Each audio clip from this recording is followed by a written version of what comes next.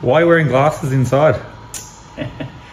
Uh, we're actually using augmented reality glasses to um, see the computer screen on the fly in the glasses. Uh, it's like virtual reality, but you can still see your surroundings. So the screen on the laptop in the back of the van, you're seeing that in your glasses at the same time? Yeah, so it makes it totally portable, um, cable free.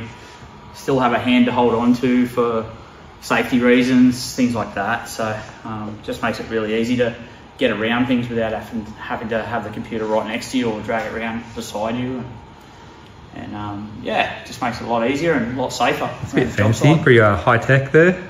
Yeah, yeah, it's um, it's kind of the next level, I guess, in in what we do. Um, yeah, but de- definitely a lot safer on job sites, and you know, uh, the safer you can be, the better you are. So yeah. Música